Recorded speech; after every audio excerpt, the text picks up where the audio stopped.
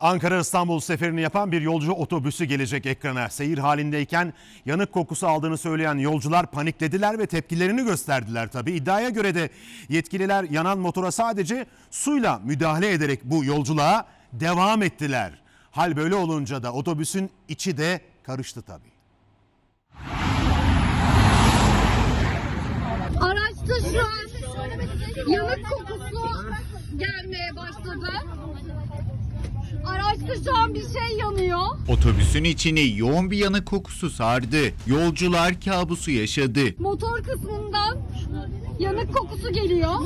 Bizi bu araçla Düzce'ye götürmeye çalıştı bu insanlar. Skandal görüntüler çok bilinen bir firmanın Ankara-İstanbul seferini yapan otobüsünde kaydedildi. İddiaya göre seyir halindeyken motor alev aldı. Otobüs o halde seyretmeye devam etti. Motora su döktüler. Yani yaptıkları tek müdahale buydu.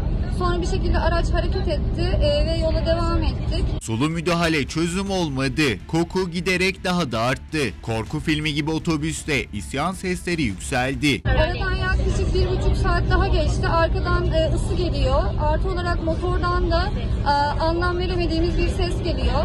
Muavin arkadaşa durumu bildirdiğimizde ilk önce taş çarptığını söyledi.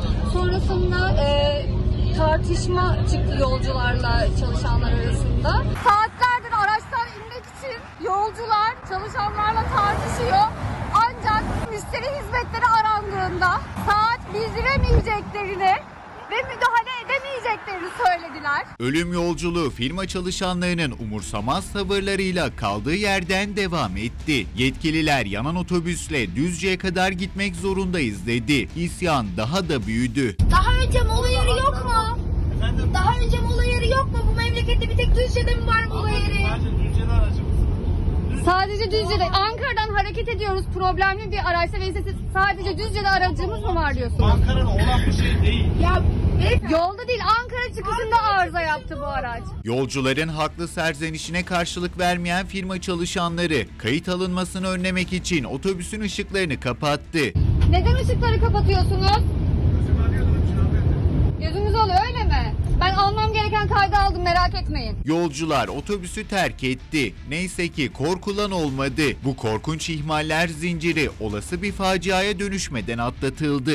Artık bilmeyen kalmadı ve bu araçta onlarca insanı Düzce'ye götürmeye çalıştılar.